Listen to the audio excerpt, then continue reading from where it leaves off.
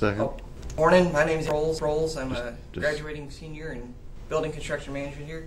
I'm going to introduce the Leica 1205 smart station that we have. It's a combination instrument. It uses the 1205 robotic total station. The handle that's currently on it allows it to be the smart station, and then it also uses the smart pole, which is a combination 360 prism and GPS sensor. Uh, for more on the GPS, refer to Nick Slauson's GPS videos. Um, this handle actually comes on and off. We had difficulty right before we set this up with the handle working, so you just click these two black buttons on the handle right here to take it on or off. And then if you want a switch handle, so you have a normal robot, you just take the Viva handle off, put the regular handle on, and it's simple as that. So if you have problems with the radio not working, just try pulling it off, putting it back on. That's as simple as that. Um, setting up the total stations, like any other total station, you get the tripod out, get it set up to show the plummet, get the plummet on point, and then level the instrument and refine your leveling until you're on point and level.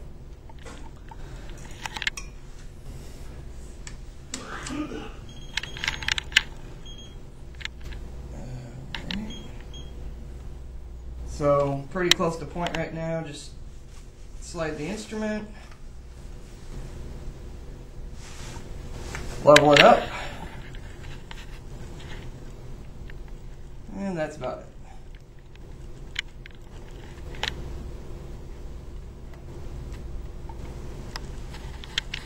Now, this thing's graduated out to the ten thousandth of a degree, so if you're within a couple ten thousandths, don't worry about it. And then you just press F1 to continue once you're plumb. Then you take this. This is this controller is the GS15 controller. It allows you to connect to both the GPS and the smart station itself.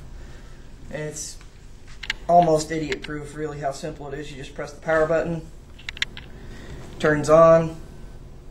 Takes a while to do that. Things the while it's turned on, the controller's Windows based, so it's like a little computer. You can put a jump drive, a flash card, a compact flash card, a camera card in here. Put data onto or off of the controller. It's got about three quarters of a gig of internal memory, so we have more room on this for survey jobs than we'll probably ever be able to use. And once it turns on, you get the Windows screen, and then it immediately boots up the SmartWorx program that would allow you to use the smart station and the GPS. Uh, to good way to know the if the radio handle is working is you'll see these lights up here light up as the uh, controller connects to it.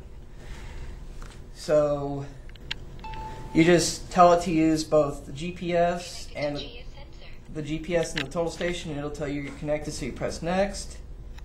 Uh, first instrument you measure with total station, you could measure with the GPS first, but if you start using the GPS, then you have geodetic coordinates for everything, and that makes it kind of hard to transfer the file if you have to go between different setups or you have to set, set up one file and move to a different location.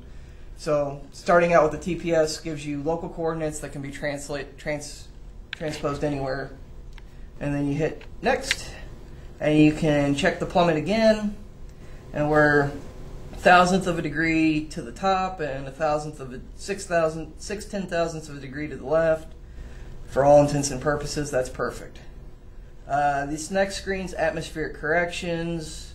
You can mess with those if you want to, but you can also skip it and have no ill effect to the total station at all. That's just for the laser compensation when you do EDM distances.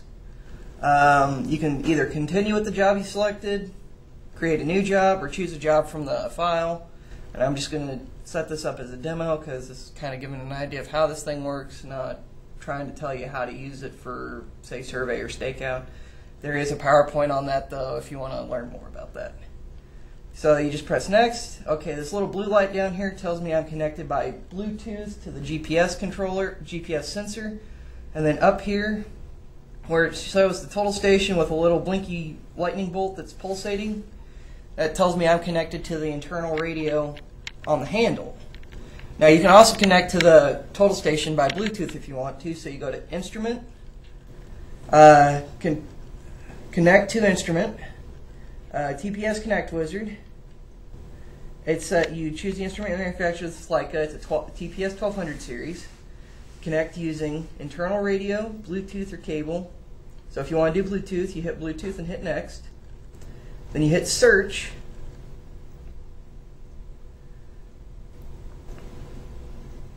And the only Bluetooth it's picking up right now is the GS sensor. So, used to work by Bluetooth, but apparently it does not now.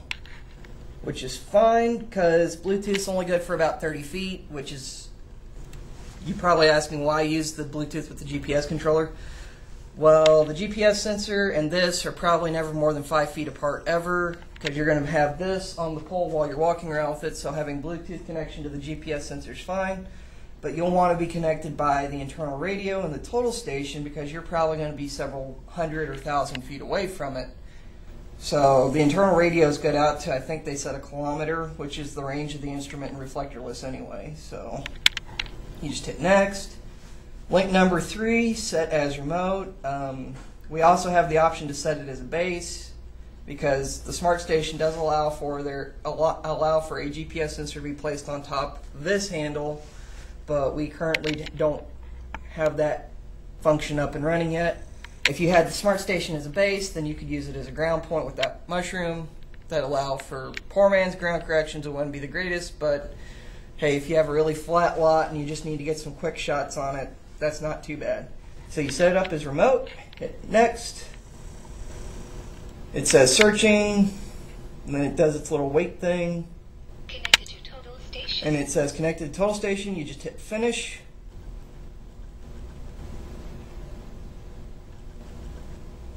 And it t- does its little wait thing again. Connected to total station. And then that's it. So once you're here, you just hit go to work.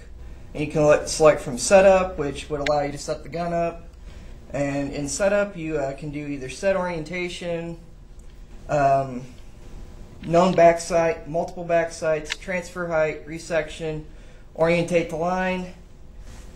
So more more features here than even I know how to use. Um, since this is the we're using the total station first, I choose to set the orientation, and what that does is it sets zero and angle right on the gun, and then I tell it I'm at a known back sight, and that gives the gun its orientation and its coordinates, and then from there you can start turning angles, measuring, doing everything you want.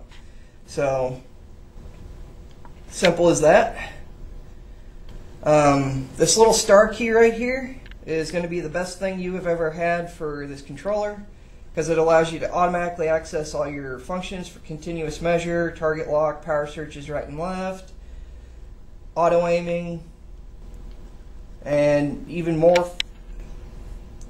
There's a lot more back here than I even knew about. We even have a camera, so you just hit power search right, the gun will turn right, looking for the prism. And I have it set to like a 360 prism right now, so that's all it's looking for. And then it says lock to target. You'll see this little icon up here in the left corner. Says, as a master lock, it'll be a lock. So you're locked to target, then you set orientation, all that. If you want to switch between the gun and the GPS while you're doing this, you just press where the gun is. And now it tells you I'm connected to the GPS sensor by Bluetooth. This satellite says that I should be getting 13 overhead satellites. This sigma, the sigma symbol here would be the number of satellites I'm connected to. This G symbol here would be the number that I'm supposed to be connected to.